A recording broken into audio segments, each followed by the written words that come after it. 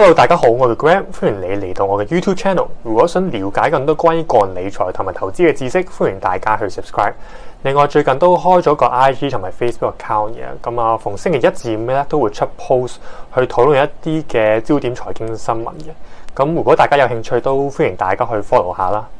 好，咁事不宜迟，今日想討論嘅題目咧就係我認為九十後應該要馬上做嘅五大理財技巧嘅。雖然識得去理財投資係一個非常重要嘅技能啊，但係一般學校咧都好少會教有關理財投資嘅知識啊，都令到好多嘅畢業生啦，或者係出咗嚟做嘢冇幾耐嘅年輕人係唔識得去點樣去管理自己嘅財富，而係感到非常之困擾嘅。雖然好坦白講，我而家先至係廿五歲，咁啊都係大學畢業咗三年左右。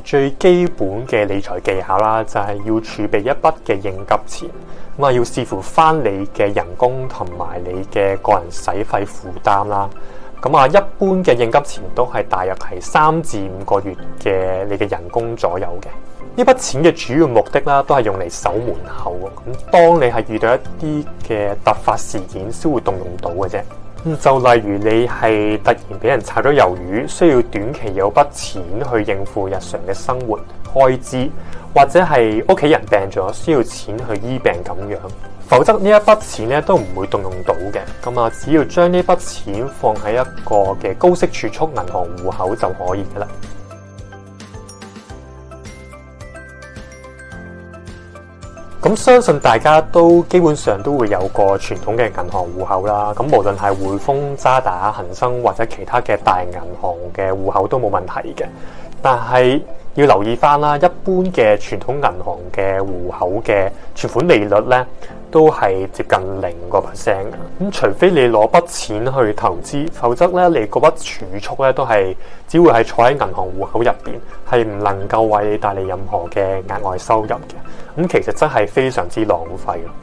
如果你依家係冇一個高息嘅存款銀行戶口啊，咁我喺度都好建議去鼓勵大家去開翻個虛擬銀行戶口嘅，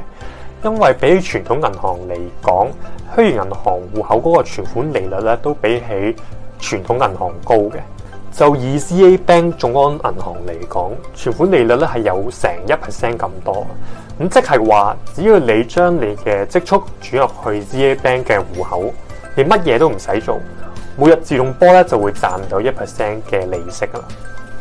雖然一 percent 嘅存款利率啦就唔算好高，但係呢一個咁簡單嘅動作啦，已經可以為你嘅積蓄帶嚟一啲嘅被動收入。但係都有人會擔心話呢啲嘅虛擬銀行穩唔穩陣，有冇執笠嘅風險？咁啊，萬一執咗笠，啲錢攞唔攞得翻咧？有冇相關嘅保障咧？咁其實大家係唔需要擔心嘅，因為虛擬銀行申請呢個銀行牌照嘅時候咧，係需要金管局嘅嚴格審核嘅。咁啊，另外呢啲嘅虛擬銀行同傳統銀行一樣咧，都有參加呢個存款保障計劃嘅。咁啊，同傳統銀行一樣咧，都係有五十萬嘅保障，所以大家都可以好放心去使用。咁依家 ZA Bank 眾安銀行咧都係做緊呢個迎新優惠嘅。咁凡係用我嘅邀請碼誒成功開到呢個 ZA Bank 嘅虛擬銀行戶口，都可以立即享有呢個五十蚊嘅迎新優惠回贈嘅。咁大家如果有興趣嘅話，都可以去下載呢個嘅 ZA Bank 嘅 App 去體驗下嘅。咁如果大家係想了解更多關於個虛擬銀行嘅新 FinTech 科技咧，都可以睇翻我之前整嘅介紹片去參考翻嘅。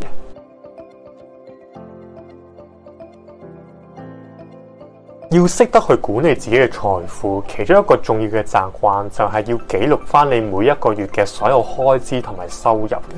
咁樣做先可以了解到自己每月嘅使費有幾多。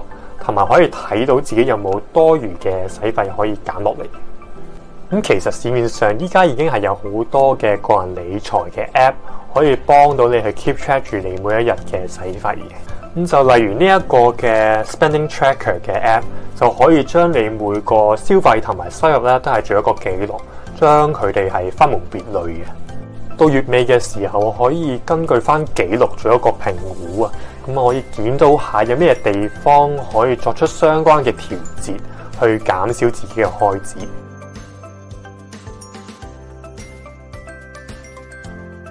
只要你每個月準時找卡數，同埋簽卡買嘢嘅時候量力而為，其實信用卡咧係可以帶俾你好多嘅簽賬優惠嘅。咁以我個人嚟講啦，如果你未有信用卡嘅話咧，可以考慮下渣打嘅 Simply Cash Visa 嘅信用卡。咁一來咧，佢嗰個嘅申請門檻唔高啊，一年嘅年薪就只需要九萬六千蚊港紙就可以申請。咁二來呢張卡嘅簽賬優惠咧都比較簡單直接，只要你喺任何嘅商鋪，無論係線上或者線下都好，所有嘅以港幣簽賬嘅消費咧，都會係獲得一點五 percent 嘅現金回贈。咁如果以外幣簽賬嘅話，就更加高，可以享有兩 percent 嘅現金回贈。而且當你去申請呢一個嘅信用卡嘅時候咧，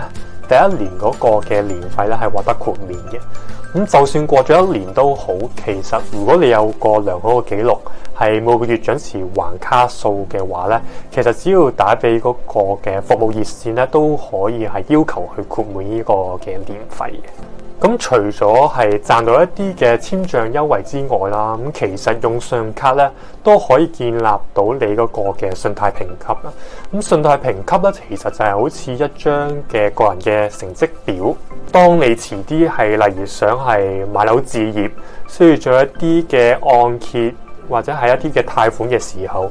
銀行會根據翻你嘅信貸評級。去決定批唔批嗰個貸款俾你，同埋同你係收幾多錢嘅利息嘅。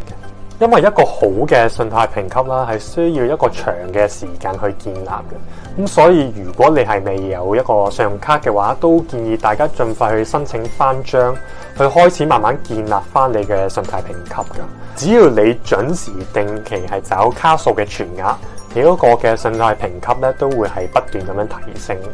咁啊，對你將來無論係置業或者係其他理財用途咧，都有一定嘅幫助。